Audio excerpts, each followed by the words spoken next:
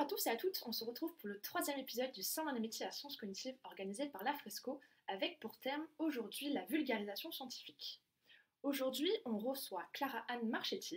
Nous allons découvrir d'abord son métier au quotidien, puis ensuite son parcours académique et professionnel, et enfin, elle nous, elle nous citera tous ses bons conseils pour réussir au mieux son parcours en vulgarisation scientifique au sens large, et notamment associé aux sciences cognitives. Je vais donc laisser la parole à Clara avec ma première question. Comme le veut la tradition, est-ce que tu pourrais nous présenter ton métier le plus vite possible, par exemple en 30 secondes? Alors, bonjour à tous. Euh, moi, je m'appelle Clara Marchetti. Je suis comédienne, auteure et metteur en scène. Et je suis aussi euh, directrice artistique de la compagnie Les Fedam, qui est une euh, compagnie de création théâtrale basée à Paris. Et dans le cadre de la compagnie, et en particulier liées aux sciences cognitives, je euh, propose des formations d'aisance à l'oral et d'éloquence pour les chercheurs. Génial, merci Clara. Euh, et donc, tu nous as dit que tu travaillais au sein d'une compagnie. Est-ce que tu pourrais nous parler des euh, différents projets sur lesquels tu travailles? Alors oui, bien sûr, au sein de la compagnie Les Fedam, on a trois pôles d'activité. Euh, on a la production théâtrale professionnelle.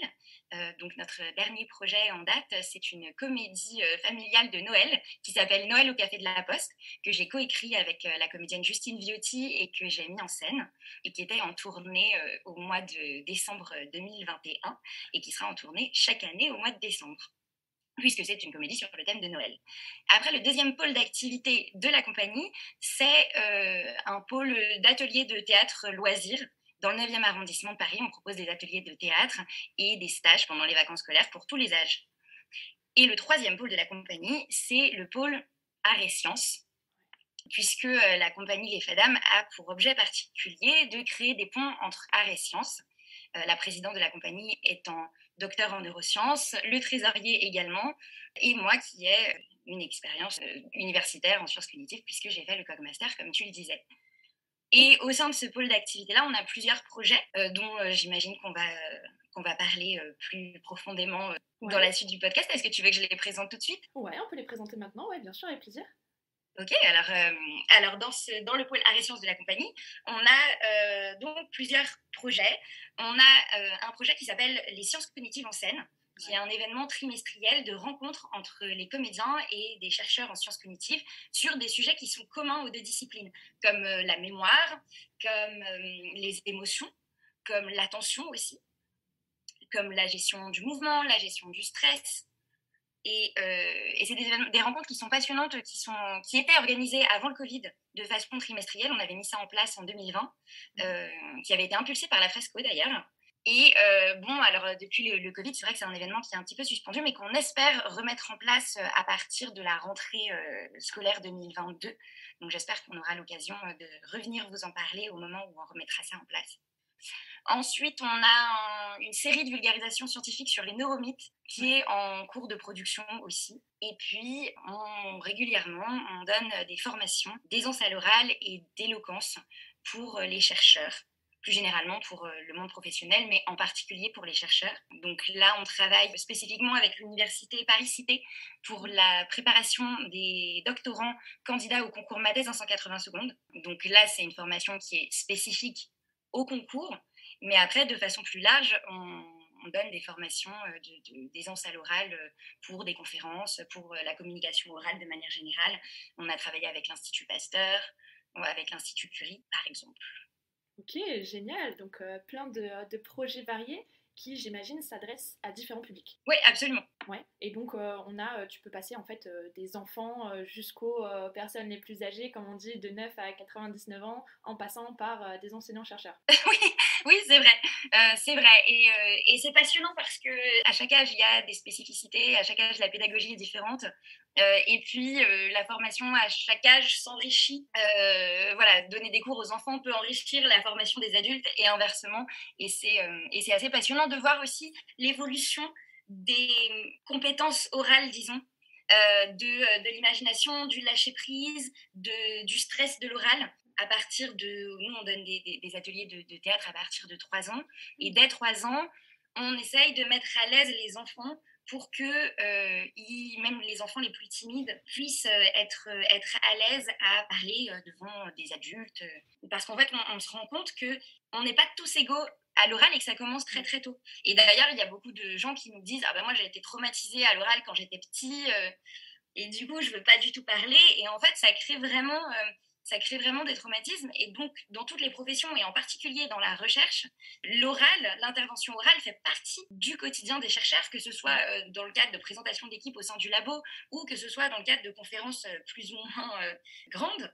Et il y a des, personnes pour lesquelles c'est un exercice qui est, auquel ils vont la boule au ventre. Mmh. Et du coup, moi, c'est ça qui m'a marqué quand j'étais au Cogmaster, quand j'ai travaillé en labo. Et je me suis dit, c'est dingue, avec les outils du comédien, on peut apporter du bien-être. Donc ça a été la première euh, motivation, ça a été ça. Ça a été de me dire, mais moi, en tant que comédienne, j'ai des outils pour que euh, ces, ces, personnes-là qui ont des choses brillantes à, raconter puissent le, raconter en confiance et, euh, et, en y prenant du plaisir. Parce que la transmission des connaissances, ça peut être un vrai plaisir, ça doit, ça doit l'être. complètement. Et, donc voilà, et donc la, première idée, c'était d'utiliser ces outils-là que moi j'avais en tant que comédienne pour apporter du bien-être aux chercheurs dans, les, dans leur présentation orale. Et puis après, bien sûr, on peut. Euh, l'idée, c'était aussi de, développer l'impact, l'aisance et la clarté de la transmission, puisque la communication scientifique c'est très important, et c'est très important aussi que, si on parle de vulgarisation, que les résultats du labo puissent être transmis au grand public euh, sans qu'il y ait de raccourcis euh, qui donnent, lieu à des idées reçues, par exemple. Ouais, complètement, complètement. Et alors du coup, si je reviens un peu sur, la genèse de, ta compagnie FEDAM, comment, comment ça s'est fait tout ça? Alors la compagnie Les Faits d'âme, oui, ça vient, bah, ça vient de mon parcours personnel au Cogmaster. En fait, j'ai toujours fait du théâtre en parallèle de mes études. Et pendant le Cogmaster, j'étais en parallèle en formation professionnelle de comédien. Et ce qui était dingue, c'était que euh, la journée, euh, j'étudiais pour, euh, pour schématiser, j'étudiais comment fonctionnent les émotions. J'étais en spécialité psychologie. Et j'étudiais l'attention, la perception, les émotions. Et puis le soir, j'allais euh, dans, euh, ma, dans ma salle de, de, pratique de théâtre et euh, j'essayais de ressentir, de recréer ces mêmes émotions pour les jouer sur une scène, de, de retrouver des, des, des, sensations sincères de, du fonctionnement humain. Ce qui est drôle, c'est qu'au théâtre, on dit qu'il faut réapprendre à marcher naturellement quand on est sur scène puisqu'on est sous le regard des autres. Et donc, c'était d'essayer de réapprendre toutes ces compétences humaines et naturelles dans le cadre de la scène et à la fois la journée de les étudier dans le cadre de leur compréhension euh, en sciences cognitives. Et, euh, et, je me suis dit, c'est dingue, il y a vraiment des points à faire. Et j'en parlais à mon amie euh, Nesrine Azem qui était en master avec moi. Et, on se disait, c'est dingue, il y a, y, a, y a, vraiment des sujets communs. Et il y a vraiment, et c'est passionnant, y a, on aborde les choses de façon très très différente. Mais il y a vraiment des on les aborde de la même manière d'une certaine façon, à un niveau d'études différent, mais il y a vraiment des intuitions qui ont eu les pédagogues du théâtre qui sont maintenant des choses testées et prouvées scientifiquement par les sciences cognitives. Donc en fait, c'était passionnant de découvrir tout ça sous ces deux aspects. Et puis avec euh, ensuite, à la fin de mon master, j'ai décidé de me consacrer pleinement au théâtre. Et, euh, et j'ai voulu monter la compagnie. Je l'ai proposé à Nesrine en se disant, voilà, cette compagnie, elle va nous permettre, elle va me permettre à moi de créer mes productions théâtrales professionnelle. Et à la fois, on veut que cette compagnie elle permette de créer des ponts entre art et sciences, et spécifiquement entre sciences cognitives et théâtre. C'est génial comme parcours. Euh. Qu'est-ce qui t'a fait dire que tu voulais pas continuer dans, dans, la recherche euh, en sciences cognitives ou de manière globale en sciences cognitives, mais plutôt te dire euh, c'est le théâtre, l'avenir que je. Mon avenir de carrière, ça sera le théâtre. Qu'est-ce qui t'a fait faire cette, cette transition? Alors, pour être tout à fait honnête, pour moi, ça a toujours été le théâtre. J'ai commencé à l'âge de 7 ans, ouais. mais disons que le théâtre n'était pas, euh, pas envisageable dans ma mmh. famille. Mmh. Et puis, j'étais aussi intéressée par les sciences. Depuis toute petite, je pensais faire de la recherche en biologie ou quelque chose comme ça. Et après le lycée, j'ai pas osé dire à mes parents euh, j'arrête les études, je veux faire du théâtre. Et puis, à la fois, j'avais aussi pleinement conscience que euh, c'est c'est important de, de, faire des études aussi, parce que c'est enrichissant. Donc j'ai commencé une licence de psychologie par pur intérêt pour, euh, pour la psychologie et pour euh, le fonctionnement humain. Et puis à la fin de la licence de psychologie, bah, je voulais pas être psychologue. Donc, euh, donc de faire un master professionnel en psychologie, ça, me, ça ne m'attirait pas. Et puis je suis allée par hasard au Forum des sciences cognitives. Ah. Et au Forum des sciences cognitives, on m'a présenté le Codemaster comme une formation qui était euh, pluridisciplinaire, où euh, j'allais faire à la fois euh, de la psychologie, mais aussi de la bio, de la philosophie de l'esprit, plein de choses. Et, et ça m'a plu et ça m'a attiré. C'était d'abord un refus de s'enfermer dans une seule discipline mmh. professionnelle. Mmh. Et arrivé au Codemaster, la formation m'a beaucoup plu. C'était très stimulant intellectuellement, mais c'était pas euh, de, travailler euh, face à un ordinateur, dans un open space. Aussi passionnant le, contenu soit-il, pour moi, ça n'a jamais été quelque chose de professionnellement envisageable. Enfin, voilà, c'est pas, euh, c'est mm. pas le mode de vie que, que je m'imaginais pour moi. Mais j'ai voulu aller jusqu'à la fin des études. Et à la fin du master, par contre, là, j'ai dit voilà, ça y est, maintenant j'ai un, j'ai un bagage et je me consacre pleinement au théâtre. Mais finalement, pleinement au théâtre, oui, mais avec toujours un pied dans les sciences cognitives. Quand on y entre, on n'en sort jamais vraiment. exactement ça. Et maintenant, euh, je coach des chercheurs euh, pour leur performance orale. Donc, la boucle est bouclée euh, et, je trouve ça absolument passionnant de pouvoir apporter ma petite contribution à la recherche, même si c'est d'une manière un petit peu détournée. Yes, c'est génial comme, comme, comme, histoire. Et du coup, si je fais un petit focus sur justement le projet des, des sciences cognitives en scène, euh, pareil, comment est-ce que euh, ce projet a été, a été élaboré? Comment est-ce qu'il a été construit? Comment est-ce qu'il est venu, ce projet-là Ou, comme tu dis, tu n'as jamais vraiment quitté les sciences cognitives. Et alors, du coup, qu'est-ce qui t'a poussé à faire ce, projet? Alors, pour ce projet-là, si je me souviens bien, on avait été contacté par la Fresco, donc par l'équipe de la Fresco de l'époque. On, on, voulait faire des choses en commun. Euh, et, donc, on s'était retrouvés pour euh, brainstormer. Et puis, euh, et puis, dans la discussion, ce, format-là est né de façon assez évidente. Donc, en fait, c'est un format, pour, pour, pour, en parler un petit peu plus, c'est un événement hybride qui est autour d'un sujet. Donc, le premier qu'on a fait, par exemple, c'était sur la mémoire. Et donc, dans la c'est un événement en trois parties. Dans la première partie, on a trois chercheurs invités qui donnent trois mini-conférences d'une dizaine de minutes vulgarisées à destination des comédiens et du grand public. Et ensuite, des comédiens ou pédagogues du théâtre proposent un atelier de théâtre centré sur des exercices autour de ce thème-là. Donc, par exemple, pour euh, montrer aux chercheurs et les faire s'exercer sur la mémoire euh, à la manière de comédiens. Ouais. Génial. Donc, comment les comédiens s'exercent sur la mémoire et ces exercices et cet atelier théâtral, il est commenté par les chercheurs. Donc, à la fin de chaque exercice, un chercheur va nous dire bah là, c'est tel mécanisme qui est en jeu. Ok. Voilà. Et donc l'idée de base, c'était euh, de proposer aux comédiens des connaissances en sciences cognitives sur telle notion, et à la fois de proposer aux chercheurs de s'exercer et de découvrir la manière des comédiens d'utiliser euh, cette compétence, enfin cette fonction cognitive. Voilà. Et ensuite, le troisième temps, c'est un temps d'échange libre. On a toujours un petit temps de cocktail pour que tout le monde, tout le monde puisse poser des questions et, échanger librement. Ça marche. Et ce sont des, c'est un projet qui est aussi ouvert au grand public, c'est-à-dire qu'on ouais, peut assister absolument. Ok, génial. Je serais, je serais vraiment curieuse d'assister à, une prochaine session quand ça, quand ça reprendra. Euh, je serais vraiment curieuse de voir, de voir ce que ça donne euh, sur scène euh, entre des enseignants-chercheurs et des comédiens en sciences cognitives. Ça a l'air. Eh ben, écoute, avec, tu seras la bienvenue avec grand plaisir quand on, quand on reprendra. Je vous, ferai passer l'information de toute façon. Et vous pouvez aussi avoir l'information sur notre site web et, et, sur notre page Facebook de la compagnie Les Dames. Ouais. Puisque voilà, on, on promeut ces événements-là régulièrement. Ça marche. Et alors, euh, si je reviens un peu justement sur euh, la partie où, euh, où tu, tu, conseilles, où tu fais de l'aisance à l'oral et tu fais de l'éloquence, comment est-ce que tu enseignes cette partie-là, qui fait partie de la prise de parole un peu en public de manière générale? Tous ces conseils que tu donnes viennent uniquement du théâtre, background théâtre que tu as eu, ou est-ce que tu te nourris aussi du, du fait d'avoir fait un parcours en sciences cognitives? Oui, alors effectivement, tu as complètement raison. Je le nourris à la fois des outils du comédien, mais à la fois de ma connaissance du déroulement d'une conférence. Voilà, et donc du, du, déroulement du conférence ou du, du déroulement d'une présentation d'équipe auquel moi j'ai pu assister et participer euh, quand j'étais en stage euh, de, de, sciences cognitives. Et donc, euh, l'avantage en fait d'avoir fait ce parcours-là en sciences cognitives, c'est de pouvoir parler aux chercheurs de manière concrète. Et de pouvoir aussi les faire pratiquer sur des sujets concrets qui font partie de leur travail que moi je comprends. Voilà, donc il y a, donc, il y a ces, ces deux aspects-là donc euh, qui, permettent de, parler concrètement aux chercheurs et euh, d'avoir une compréhension des situations d'oral qu'ils vivent au quotidien, de la manière de les aborder et de pouvoir gagner en impact. Par exemple, voilà, le contenu d'une conférence, si on résume euh, la partie introduction, la partie méthode, comment, comment gagner en impact sur une partie méthode ou résultat d'une d'une présentation en sciences cognitives, par exemple. Voilà, ça c'est quelque chose que je connais, donc que je peux aborder. Oui, complètement Génial. Parce qu'il y, y, a quelques formations, il y a quelques formations à l'oral, il y en a de plus en plus et tant mieux. Mais c'est vrai que lorsque les intervenants connaissent pas les spécificités d'une présentation en sciences cognitives ou d'une présentation scientifique de manière générale, hein, d'une présentation d'un chercheur, quelle que soit sa discipline, c'est vrai que parfois euh, le, les conseils ne sont pas forcément adaptés.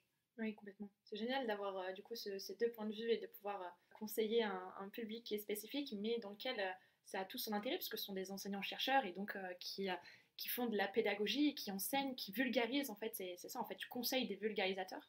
Et, euh, et, je trouve ça juste génial de, de pouvoir conseiller ce, type de personnes-là parce que ce sont eux après qui vont apprendre à un public en particulier, notamment quand on est étudiant. Et donc c'est grâce à eux qu'on apprend. Et donc c'est vrai que euh, si on n'a pas les clés de la prise de parole en public, c'est vrai que c'est difficile de, de, pouvoir retenir euh, une information et, et, je trouve ça génial.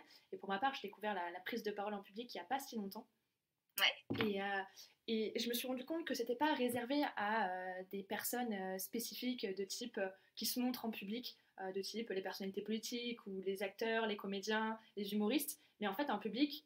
Dès qu'on est deux, on a un public en face. Absolument, et, et, et, et dans la prise de parole à, à l'oral, il y, a aussi, il y a effectivement la partie bah, conférence face à un public, mais il y a aussi les échanges d'idées. Ouais. Comment, au sein d'une équipe, stimuler les échanges, stimuler les idées, ouais. comment débattre de façon positive, constructive, comment gérer euh, quelqu'un dans l'équipe qui a une personnalité différente de la nôtre.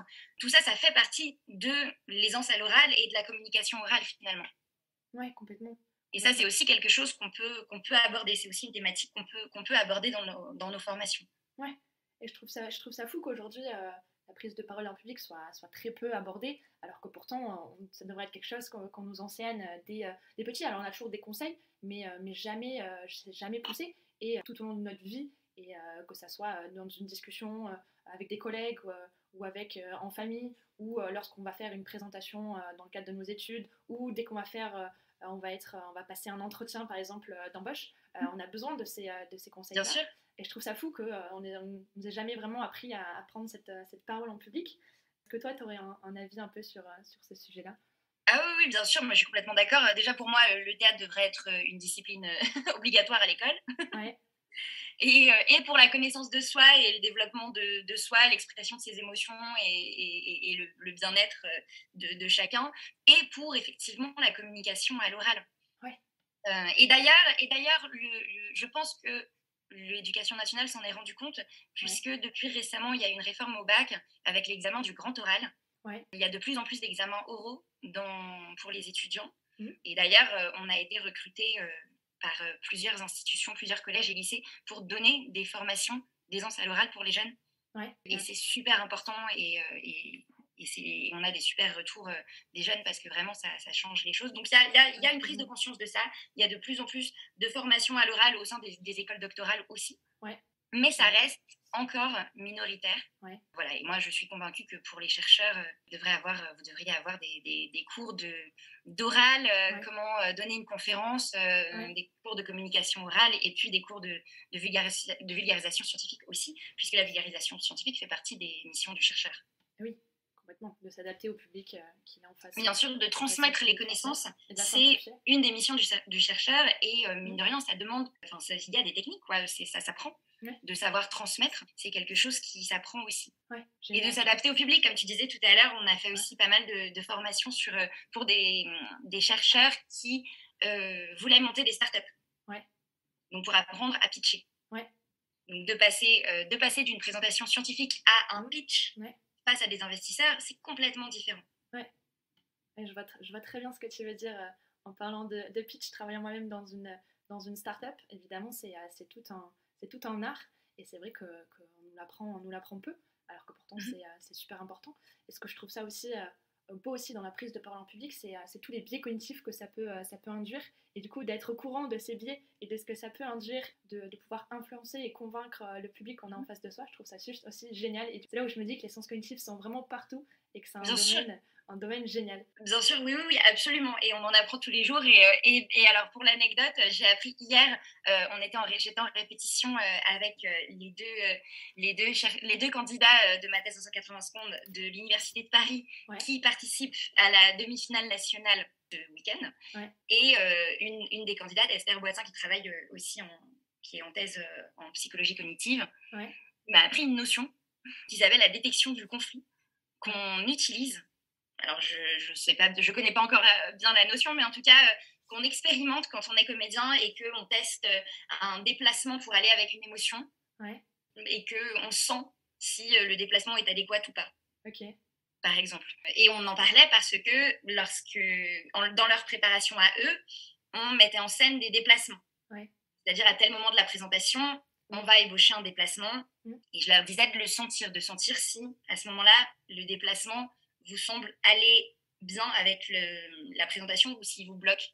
Et j'ai appris cette notion, et Esther nous a appris cette notion de détection du conflit. Donc, comme quoi, voilà un exemple ultra concret que j'ai appris hier, et c'est absolument passionnant. Et c'est pour ça que je, veux, euh, je voudrais euh, développer vraiment ces, échanges entre la pratique des comédiens et les chercheurs en sciences cognitives, parce que vraiment, on, expérimente vraiment des, choses que, euh, que les sciences cognitives étudient. Et je pense que pour les chercheurs d'expérimenter aussi euh, à la manière d'un comédien, ça peut être passionnant.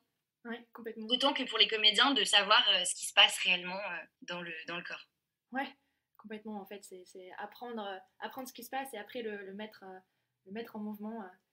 Et alors du coup, si je reviens un peu sur justement ton, ton quotidien, à quoi ressemble un peu ta semaine type? C'est quoi, euh, c'est quoi tes horaires? C'est quoi le projet qui te prend le plus de temps euh, Dis-nous en plus, euh, justement, quand on, est, quand on gère une compagnie théâtre, à quoi ça ressemble le quotidien? Alors, il n'y a pas du tout de semaine type, c'est une question très très difficile, parce que les jours et les semaines se suivent mais ne se ressemblent pas. Y a... c'est très varié, c'est très très varié, le quotidien d'une comédienne ou d'un comédien euh, c'est très très varié. Il y a des, semaines qui sont euh, consacrées euh, plus à l'écriture, il y a des mmh. semaines qui sont consacrées à la répétition, il y a des moments où on va jouer tous les soirs pendant une certaine période. Mmh. Il y a, alors au quotidien, la gestion de la compagnie, moi je suis directrice artistique et porteuse de projet. Mmh. Donc, il y a une partie dossier, il y a une partie administrative aussi, il y a une partie gestion d'équipe. Je donne des cours aussi moi-même, donc il y a une partie répétition avec les élèves aussi. Il y a des jours de formation. Mais tout ça, c'est très ponctuel, euh, à part les, cours hebdomadaires, euh, les répétitions hebdomadaires avec les élèves. Sinon, vraiment, euh, j'ai pas du tout de semaine type. Je vais beaucoup au théâtre, au moins une à deux fois par semaine. Et après, les semaines voilà, sont constituées d'échanges ponctuels, comme aujourd'hui de réunions avec de nouveaux collaborateurs potentiels, euh, d'échanges avec des comédiens euh, sur, euh, sur des projets potentiels aussi. On est toujours en mouvement en fait. On est toujours en mouvement, on est toujours en train de chercher du travail, on est toujours en train de, réfléchir et de concevoir des nouveaux projets, de chercher de nouvelles collaborations. Mmh. Donc en fait, le temps est passé de façon assez stimulante à, à réfléchir et concevoir et s'enthousiasmer sur de nouveaux projets potentiels. Ok globalement. Voilà, on est constamment en train d'apprendre, de, chercher à s'améliorer, de chercher euh, de nouveaux projets, des nouvelles choses à, à, faire, à créer. Donc on est constamment en mouvement. Ok, d'accord, ça marche. Et alors j'ai une petite question au niveau de ton euh, statut professionnel. C'est euh, lequel quand on, justement, on gère une, compagnie théâtre? Alors tu, tu, es directrice artistique, mais quel est, quel est ton statut? Alors, directrice artistique, c'est pas un, c'est pas un statut juridique. Directrice artistique, c'est bénévole, disons. Ouais. Voilà, donc je gère euh, l'organisation de la compagnie euh, de façon bénévole. Moi, je suis intermittent du spectacle. Ouais, d'accord. Donc ma profession principale, c'est la profession de comédienne et metteur en scène. Pour ça, euh, voilà, pour ça, je suis sous le régime de, de l'intermittence du spectacle. Et donc, toutes les, répétitions qu'on va faire, les représentations qu'on va faire, vont être rémunérées sous le régime de l'intermittence du spectacle. Tout le reste, c'est de la passion. ça marche. Et alors, pour toi, un peu, pour finir, avant que je passe à ma, à ma dernière question, euh, quels, seraient les, quels sont pour toi les avantages et l'inconvénient d'être, de, de, ce statut-là, d'être euh, intermittent du spectacle? Alors, les avantages, c'est que c'est un régime, c'est un statut très très particulier qui serait beaucoup trop long à, expliquer euh, ici. Mais en gros, c'est un statut qui nous permet d'avoir justement cette liberté, cette flexibilité d'emploi du temps pour monter des projets. Donc effectivement, on n'est pas rémunéré à l'heure. À l'heure de, travail, en fait, l'intermittence du spectacle, c'est, ça se renouvelle chaque année. Mmh. Ça se renouvelle chaque année et en fait, il faut justifier chaque année d'un nombre d'heures suffisant, suffisant pour être considéré comme artiste et comme intermittent du spectacle, donc pour toucher l'intermittence du spectacle. Okay. Puisqu'on a des prestations qui sont ponctuelles. Voilà. Et le reste du temps, ce statut nous permet justement voilà, d'être libre, de monter des projets, d'écrire, de, de créer. C'est du temps qui ne se compte pas en heures, vraiment, enfin, qui, voilà, qui serait compliqué à quantifier. Oui, bien sûr. Donc ce statut permet cette liberté-là, cette flexibilité-là. la liberté aussi de, de, monter n'importe quel projet, dans, justement interdisciplinaire, de façon complètement libre. Le fait d'être moi aussi mon propre patron, puisque je choisis quel projet, quel projet je veux faire. Ça permet aussi cette liberté-là. On n'est pas, je suis pas sous l'égide d'une entreprise, donc je ne dois pas correspondre à, quelque chose. Je suis pas non plus exclusivement avec ma compagnie. Je peux aussi travailler avec d'autres compagnies, monter des projets avec d'autres structures. Ouais. d'en parler aussi, je, fais partie d'une start-up de communication scientifique qui s'appelle Naos Communication. qui elle est spécialisée dans la communication scientifique au niveau international. On donne des formations au niveau international en français et en anglais avec différentes, différents laboratoires, différentes structures, différents incubateurs de start-up aussi donc voilà, donc je suis pas, pas d'exclusivité et je peux euh, créer euh, en toute liberté. Donc ça, c'est les avantages. Les désavantages, bah, la difficulté, disons, c'est de compléter, euh, de compléter ses heures chaque année, puisqu'on est quand même, on peut perdre le statut d'une année sur l'autre. Ouais, Donc il y a une certaine, il y a une certaine précarité. Chaque, chaque année, il faut justifier d'un nombre d'heures suffisant. Mmh pour pouvoir euh, y prétendre euh, à ce statut une année de plus. Et, euh, effectivement, la majorité du temps de travail, c'est quand même du temps de projet qui, ne peut pas faire l'objet d'un cachet d'intermittence. Donc si un projet met longtemps à se concrétiser, disons, ça c'est du temps qui ne peut pas être qui peut pas être rémunérable. Donc du coup, on doit être actif sur pas mal de fronts pour pouvoir justifier de, de son nombre d'heures. Mais c'est stimulant, ça nous oblige à être toujours dans l'action, donc c'est passionnant. Ok, ça marche. Ça marche. Merci, euh, merci pour tes réponses. Je finis avec, euh, avec ma dernière question. Quel conseil tu donnerais un peu aux étudiants qui sont, euh, qui sont en sciences cognitives, qui ont envie de se, se, lancer dans la vulgarisation scientifique au sens large et voire même qui ont envie de se lancer aussi dans le théâtre Quel conseil tu leur donnerais? Alors, le premier conseil, si vous voulez vous lancer dans la vulgarisation scientifique, c'est faites du théâtre. c'est euh, faites du théâtre, c'est parler c'est échanger beaucoup, rencontrer des gens et puis leur parler de ce que vous faites. D'arriver à vulgariser, à trouver ces mots, ça vient avec la pratique. Au plus on, de pratiquer et de parler euh, avec passion de, de, tout ce qui nous intéresse à tout type de public. Et avec la pratique, on arrive à, euh, par essai-erreur, on arrive à, euh, à trouver son, son, langage, sa manière de, de diffuser l'information, les bons mots, c'est de l'oral, c'est de s'intéresser, euh, c'est de s'intéresser, d'échanger avec, euh, avec des, des, gens très très différents. Mmh. Pour les gens qui veulent se lancer dans le théâtre, je le déconseille, c'est un métier très très difficile et il faut être vraiment passionné et, et avoir une capacité de persévérance et de travail mmh. assez importante. En général, quand on vient des sciences cognitives, on a cette capacité de persévérance et, de, et, de, et de travail. Mais c'est euh, absolument passionnant et je pense que les deux domaines sont passionnants. Et, voilà. et pour les chercheurs, oui, faites, faites du théâtre ça vous, ça vous apportera euh, et, un bien, et, du bien-être et du plaisir et vous gagnerez en clarté et en impact dans toutes vos présentations. Génial, merci beaucoup Clara pour, euh, pour ces conseils et, et même pour, cette, euh, pour cet échange. Merci d'avoir été présente avec nous pour nous dévoiler ton parcours, ton quotidien au sein de ta compagnie théâtre. Qu'est-ce qu'on peut te souhaiter pour la suite? Écoute, je te remercie beaucoup pour cet échange qui a été passionnant. Qu'est-ce qu'on peut me souhaiter pour la suite? Des, de nouveaux projets, de belles créations et puis euh, de nouvelles collaborations, notamment avec euh, le monde des sciences cognitives. Yes, et eh ben écoute, je, te le souhaite.